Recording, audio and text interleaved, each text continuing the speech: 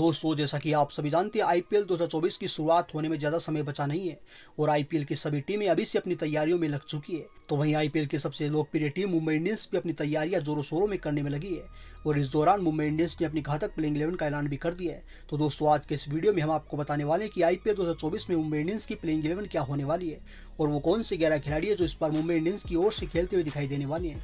दोस्तों आपको बता दें कि आईपीएल 2024 के ऑक्शन में मुंबई इंडियंस की टीम ने कई खिलाड़ियों को खरीद कर पच्चीस मेंबर का एक घातक स्कोर तैयार किया है। तो वहीं मुंबई इंडियंस की टीम इस बार अपने नए कप्तान हार्दिक पांड्या की अगुवाई में खेलने वाली है। यानी इस बार मुंबई इंडियंस की कमान हार्दिक पांड्या के हाथों में रहने वाली है। आपको बता दें, पिछले सीज़न में मुंबई इंडियंस का प्रदर्शन कुछ खास देखने को नहीं मिला था। जी हाँ दोस्तों, रोहित शर्मा की कप्तानी में मुंबई इंडियंस की टीम लगातार फ्लॉप साबित हो रही थी, जिसके चलते मुंबई की टीम ने इस साल एक बहुत बड़ा फैसला लिया है और अपने सबसे सफल कप्तान रोहित शर्मा, जिन्होंने मुंबई की टीम को पाँच बार आईपीएल का विजेता बनाया था। उन्हें कप्तानी से हटा दिया गया है और हार्दिक पांड्या को 15 करोड़ में गुजरात टाइटन के साथ ट्रेंड कर अपनी टीम में शामिल कर लिया है। इसके अलावा मुंबई इंडियंस की टीम ने इस बार ऑक्शन में आठ खिलाड़ियों को खरीद कर अपनी टीम में शामिल किया है। जिनके पीछे मुंबई की टीम ने सोलह दशमलव सात करोड़ खर्च किए जिसमें गिराल कोटजी, दिलसान, मधुशंका, मोहम्मद नाबी जैसे घातक खिलाड़ियों को शामिल किया है और इन खिलाड़ियों का मुंबई की टीम में शामिल हो जाने से इस बार मुंबई की टीम काफ़ी ज़्यादा मज़बूत और घातक नज़र आ रही है। तो आइए दोस्तों, अब जानते हैं कि आखिर वो कौन कौन से ग्यारह खिलाड़ी है जो इस बार मुंबई की ओर से खेलते हुए दिखाई देने वाले हैं। तो दोस्तों, अगर सबसे पहले ओपनिंग जोड़ी की बात करें तो आपको बता दें, ओपनिंग जोड़ी के रूप में रोहित शर्मा के साथ ईशान किशन बल्लेबाजी करते हुए दिखाई देने वाले हैं, जो कि टी ट्वेंटी फॉर्मेट के काफ़ी तूफानी बल्लेबाज माने जाते हैं। दोस्तों, अगर सबसे पहले रोहित शर्मा की बात करें तो दोस्तों, आपको बता दें, पिछले दो सीज़न में मुंबई की ओर से खेलते हुए रोहित शर्मा का प्रदर्शन कुछ खास देखने को नहीं मिला है। और पिछले सीज़न में तो रोहित शर्मा दस मुकाबलों में मात्र एक सौ चौरासी रन बनाने में कामयाब हो पाए थे। यानी पिछले सीज़न में रोहित शर्मा का बल्ला पूरी तरह से खामोश देखने को मिला था। हालाँकि दोस्तों, अगर इन दो सीज़न को छोड़ दिया जाए तो आईपीएल में रोहित शर्मा का प्रदर्शन अब तक बेहद ही शानदार रहा है। और रोहित शर्मा ने अपनी कप्तानी में मुंबई इंडियंस की टीम को पाँच बार आईपीएल का विजेता बनाया लेकिन दोस्तों, लगातार खराब फॉर्म के चलते रोहित शर्मा को इस बार कप्तानी से हटा दिया गया है। ऐसे में दोस्तों रोहित शर्मा को आगे आईपीएल में बने रहने के लिए सीज़न में शानदार बल्लेबाजी करनी होगी। और ओपनिंग करते हुए मुंबई की टीम को शानदार शुरुआत दिलानी होगी। और इन दिनों रोहित शर्मा जिस तरह की फॉर्म में चल रहे हैं, उसे देखकर कहा जा सकता है कि इस बार रोहित शर्मा अपने बल्ले से जमकर कोराम मचाते हुए अपने आलोचकों को मुँह तोड़ जवाब देने वाले हैं। वहीं दोस्तों, अगर दूसरी ओपनर बल्लेबाज ईशान किशन की बात करें तो ईशान किशन ने पिछले साल मुंबई की ओर से खेलते हुए कमाल का खेल दिखाया था और पिछले साल सबसे ज़्यादा रन बनाने वाले भारतीय ओपनर बने थे। आपको बता दें, पिछले साल ईशान किशन ने मुंबई की ओर से कुल सोलह मुकाबले खेले थे, जहाँ ईशान किशन ने शानदार बल्लेबाजी करते हुए चार सौ से अधिक रन बनाने का कारनामा किया था और मुंबई की ओर से सबसे अधिक रन बनाने वाले दूसरे खिलाड़ी बने थे। और इस समय ईशान किशन काफ़ी शानदार फॉर्म में चल रहे हैं। और हाल ही में खेली गई सईद मुश्ताक अली ट्रॉफी में ईशान किशन ने आठ मैचों में 300 से अधिक रन बनाने का कारनामा किया है। ऐसे में दोस्तों इस साल आईपीएल में ईशान किशन अपनी फॉर्म को बरकरार रखते हुए कमाल की बल्लेबाजी करने वाले हैं। उसके बाद अगर नंबर तीन की बात करें तो आपको बता दें, मुंबई की ओर से नंबर तीन पर टी फॉर्मेट के सबसे तूफानी बल्लेबाज सूर्य कुमार यादव बल्लेबाजी करने के लिए आने वाले हैं। दोस्तों, आपको बता दें सूर्य कुमार यादव मुंबई इंडियंस के सबसे शानदार बल्लेबाज है, जो कि काफ़ी तूफानी अंदाज में बल्लेबाजी करते हैं और मैदान पर आते विरोधी टीम की गेंदबाजी क्रम को पूरी तरह से खदेड़ना शुरू कर देते हैं और मैदान के चारों ओर चौके छक्के की बरसात कर देते हैं। आपको बता दें, पिछले साल सूर्य कुमार यादव ने कमाल की बल्लेबाजी का नजरा पेश किया था और मुंबई की ओर से 16 मुकाबलों में बल्लेबाजी करते हुए 600 से अधिक रन बनाए थे और पिछले साल मुंबई की ओर से सबसे सफल बल्लेबाज रहे थे। ऐसे में दोस्तों, इस साल भी मुंबई की टीम को सूर्य कुमार यादव से शानदार और तूफानी बल्लेबाजी की उम्मीद होगी। तो वहीं दोस्तों सूर्य कुमार यादव के अलावा मुंबई की ओर से नंबर चार पर तिलक वर्मा खेलते नज़र आएँगे।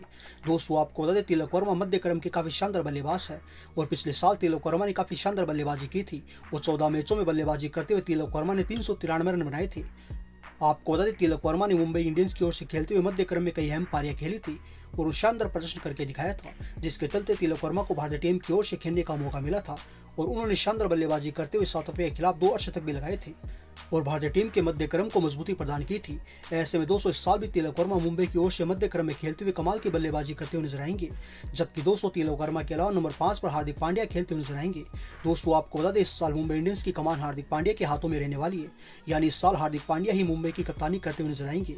जी हाँ दोस्तों, तीन साल के बाद हार्दिक पांड्या की मुंबई इंडियंस में वापसी हो चुकी है। ऐसे में दोस्तों, हार्दिक पांड्या की वापसी होने से मुंबई की बल्लेबाजी काफ़ी ज़्यादा मज़बूत हो चुकी है। क्योंकि दोस्तों हार्दिक पांड्या भी भारतीय टीम के काफ़ी शानदार ऑलराउंडर खिलाड़ी है, जो कि अपनी गेंदबाजी के साथ साथ निचले क्रम में आकर काफ़ी कमाल की बल्लेबाजी भी करते हैं। दोस्तों, आपको बता दें, इससे पहले हार्दिक पांड्या 2016 से 2021 तक मुंबई इंडियंस के साथ खेल चुके हैं, जहाँ पर उन्होंने बल्लेबाजी करते हुए चौदह से अधिक रन बनाए हैं। तो वहीं गेंदबाजी करते हुए बयालीस विकेट अपने नाम किए हैं, जबकि 2022 में हार्दिक पांड्या ने अपनी कप्तानी में गुजरात की टीम को विजेता बनाया था और 2023 में सेमीफाइनल तक पहुँचे थे। लेकिन दोस्तों, मुंबई की टीम ने अब एक बार फिर हार्दिक पांड्या को अपनी टीम में शामिल कर लिया है, ताकि हार्दिक पांड्या इस बार मुंबई की टीम को विजेता बनाने में अपना अहम योगदान दे सके।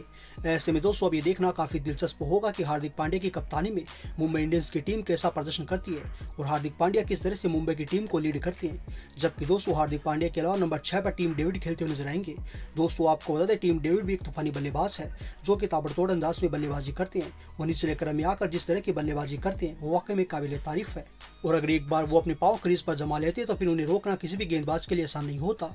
और पिछले साल भी टीम डेविड ने मुंबई की ओर से निचले क्रम में आकर काफ़ी अहम पारियाँ खेली थी और मुंबई को कई मुकाबलों में अकेले दम पर विजय बनाया था।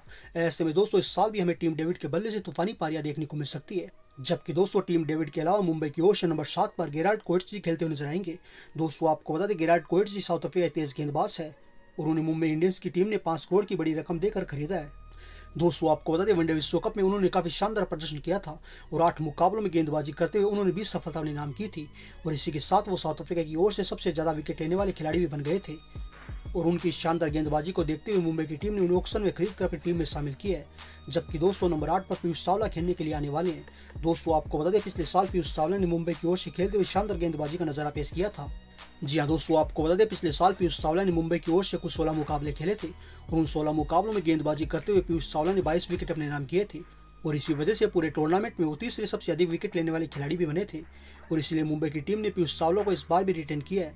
ऐसे में दोस्तों, इस साल एक बार फिर पीयूष चावला अपनी शानदार फिरकी गेंदबाजी के दम पर मुंबई को विजय बनाने में अपना अहम योगदान देना चाहेंगे। हालाँकि दोस्तों, अभी हाल ही में खेली गई सैद मुश्ताक अली ट्रॉफी में पीयूष चावला का प्रदर्शन कुछ खास देखने को नहीं मिला था। लेकिन दोस्तों, विजय हजारे ट्रॉफी में उन्होंने मिलीजुली गेंदबाजी की थी। हालाँकि दोस्तों, अगर आईपीएल 2024 में पीयूष साल अपनी गेंदबाजी से कुछ खास कमाल कर नहीं पाते हैं तो फिर मुंबई इंडियंस के पास बैकअप के तौर पर सुरेश गोपाल और मोहम्मद नबी जैसे कई फिरकी गेंदबाज मौजूद हैं। ऐसे में दोस्तों, अगर पीयूष चावला मुंबई की टीम में अपनी जगह को बनाए रखना चाहते हैं तो फिर उन्हें शानदार गेंदबाजी करके दिखानी होगी। जबकि दोस्तों पीयूष चावला के अलावा नंबर नौ पर दिलसान मधुशंका खेलते हुए दिखाई देने वाले हैं। दोस्तों, आपको बता दें कि दिलसान मधुशंका ने श्रीलंका की ओर से खेलते हुए वनडे विश्व कप में काफ़ी कमाल का प्रदर्शन किया था, जिसको देखते हुए मुंबई की टीम ने इस साल उन्हें छह करोड़ की भारी भरकम रकम देकर अपनी टीम में शामिल किया है। दोस्तों, आपको बता दें विश्व कप में दिलसान मधुशंका ने श्रीलंका की ओर से कुल नौ मुकाबले खेले थे, जहाँ उन्होंने शानदार गेंदबाजी का नज़ारा पेश करते हुए इक्कीस विकेट अपने नाम किए थे और पूरे टूर्नामेंट में सबसे अधिक विकेट लेने वाले तीसरे गेंदबाज बने थे। ऐसे में दोस्तों दिलसान मधुशंका के पास इस साल आईपीएल में अपनी छाप छोड़ने का सुनहरा मौका होगा, जबकि दोस्तों दिलसान मधुशंका के अलावा मुंबई की ओर नंबर दस पर मुंबई की आन बान और शान जसप्रीत बुमराह खेलते नज़र आएँगे। दोस्तों, जैसा कि आप सभी जानते हैं, जसप्रीत बुमराह कितने खौफनाक गेंदबाज है और बुमराह ने मुंबई की ओर से खेलते हुए काफ़ी कमाल का खेल दिखाया है। दोस्तों, आपको बता दें, इस साल जसप्रीत बुमराह आईपीएल में दो साल के बाद वापसी करने वाले हैं। आपको बता दें, जसप्रीत बुमराह ने मुंबई इंडियंस की ओर से खेलते हुए कई रिकॉर्ड अपने नाम किए हैं। जसप्रीत बुमराह मुंबई के सबसे खौफनाक गेंदबाज है। आपको बता दें, जसप्रीत बुमराह ने अब तक आईपीएल में 123 मुकाबले खेले हैं, जहाँ उन्होंने शानदार गेंदबाजी करते हुए एक सौ अड़तालीस विकेट लेने का कारनामा किया है और इस दौरान उनकी औसत करीब करीब सात के ऊपर रही है। दोस्तों, आपको बता दें, जसप्रीत बुमराह की चोट के बाद जब से भारतीय टीम में वापसी हुई है, तब से जसप्रीत बुमराह ने काफ़ी कमाल की गेंदबाजी करके दिखाई है।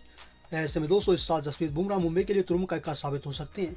जबकि दोस्तों, जसप्रीत बुमराह के अलावा मुंबई की ओर नंबर ग्यारह पर जैसन बेहनड्रॉफ खेलते हुए दिखाई देने वाले हैं। जी हाँ दोस्तों, आपको बता दें, जैसन बेहनड्रॉफ ऑस्ट्रेलिया के शानदार तेज गेंदबाज है, जो कि मुंबई इंडियंस की बहुत ही अहम खिलाड़ी है। आपको बता दें, पिछले साल जसप्रीत बुमराह की गैर मौजूदगी में उन्होंने बहुत ही अच्छा प्रदर्शन करके दिखाया था। आपको बता दें, पिछले साल जैसन बेहनड्रॉफ ने मुंबई की ओर से कुल बारह मुकाबले खेले थे, जहाँ उन्होंने शानदार गेंदबाजी का नज़ारा पेश करते हुए चौदह विकेट लेने का कारनामा किया था, और कहीं ना कहीं जसप्रीत बुमराह की कमी को पूरा किया था। आपको बता दें, पिछले साल जैसन बेंड्रोफ ने इतनी खौफनाक गेंदबाजी की थी, जिसके सामने बड़े से बड़ा बल्लेबाज घुटने पर बैठने को मजबूर हो गया था। ऐसे में दोस्तों, मुंबई के इन तीनों ही गेंदबाजों को पार पाना किसी भी टीम के लिए आसान नहीं होगा। तो दोस्तों आईपीएल 2024 में ये रहने वाली है मुंबई की फाइनल प्लेइंग इलेवन लेकिन दोस्तों, आप सभी को क्या लगता है कि इस बार मुंबई इंडियंस की टीम हार्दिक पांड्या की कप्तानी में आईपीएल 2024 के खिताब को अपने नाम करवाएगी या नहीं? कमेंट करके अपनी राय हमें ज़रूर दीजिएगा।